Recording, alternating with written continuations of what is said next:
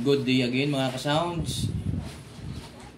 In today's video, di-discuss po tayo tungkol sa tweeters and capacitors.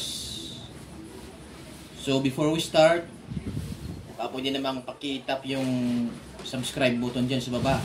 Pati na rin yung bell button para ma-update po kayo kapag may bago tayong in-upload na video. So, start tayo. Mayroon tayo ditong tatlong capacitors. Ito. Ah... makita, no? Ah, 4.7. Ito, ah, 3.3.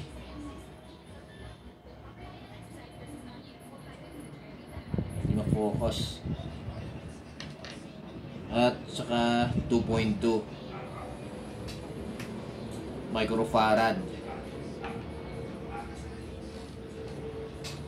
So ito may compression driver tayo dito na malaki. Ito malakas to. So ikabit na natin lahat ng capacitors natin para ma-test natin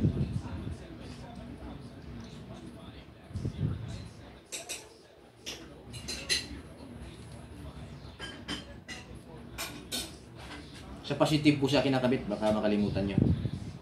Para mas effective siya sa positive talaga.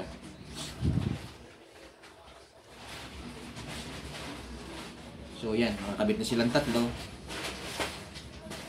Bakit nga ba kailangan ng capacitors sa mga tweeter natin? Kasi pag wala tayong capacitor na ikakabit dyan, masusunog yung voice coil ng capacitor, ay ng tweeter natin. Dahil papasok yung low frequency. Yun yung magkukos ng magkasunog ng voice coil natin. Kapag may kapasitor tayo sasalain niya yung pumapasok na sounds dito. Iba-block niya yung low frequency so high frequency na lang yung matatanggap ng tweeter natin. Kaya protection siya, kumbaga. So, i-try natin yung ating sound kung anong epekto ng ating kapasitor.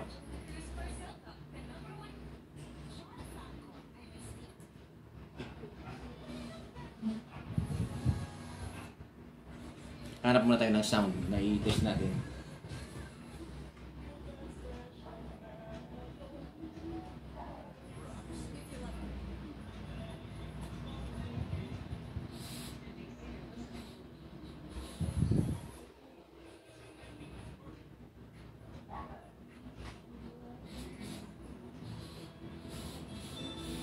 Okay, ito. Una tayo sa 2.2.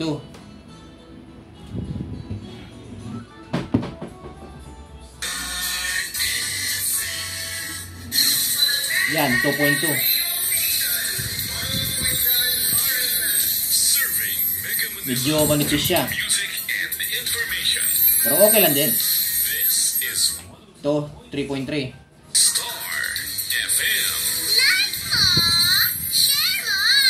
Kung mapansin nyo, lumakas yung boses sa 3.3.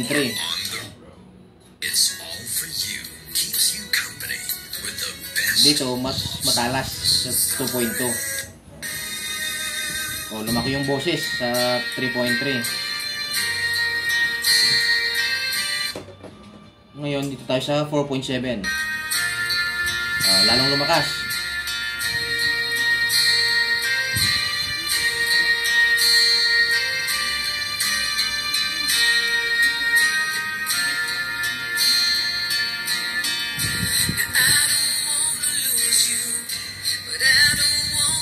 Balik tayo sa 2.2.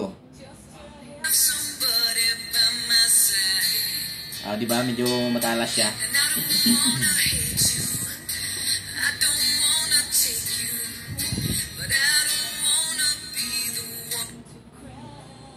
Three point three.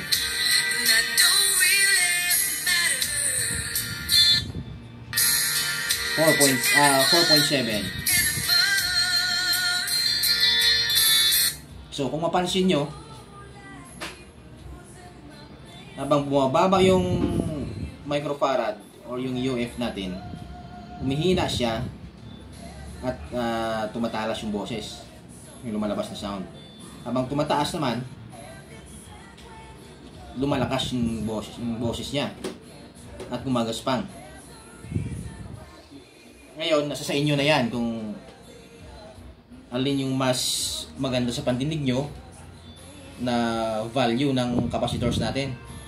Kasi hindi naman basta-basta makakabit lang tayo ng capacitor is okay na. Kailangan, i-observe nyo rin kung ano yung mas maganda sa pandinig nyo. At isa pa, hindi dahil nakakabit na tayo ng capacitor is okay na. Ah, safe na safe na siya. Hindi pa rin po. Kasi may tendency na masunog pa rin yan. Lalo pag biglang pasok yung malalakas na sounds. At yung feedback ng microphone. Yun yung matinding mansunog ng voice coil, yung feedback ng microphone. So sa next video natin, magdadagdag pa tayo ng protection para sa Twitter natin na hindi masunog yung voice coil niya. Kasi pag nasunog yung voice coil niyan, gastos na naman at hassle na naman. Kasi bibili ka na naman ng bagong voice coil, eh, papalitan mo. So, try natin ulit ha. 2.2 3.3 4.7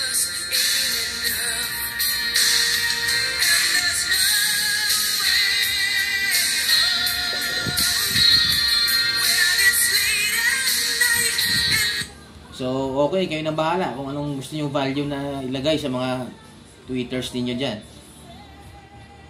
Importante, may protection na siya. So, yan lang muna. Sa ngayon, mga kasounds. Next video, papakita ko sa inyo kung ano, dinadagdag natin dyan. Pwedeng idagdag natin na protection para safe yung tweeters natin. Kahit biglang pasok yung malakas na sounds, kahit mag-feedback ng malakas, hindi siya masusunog. Dahil may dagdag protection tayo. So, yun lang po muna mga ka-sounds. Maraming salamat.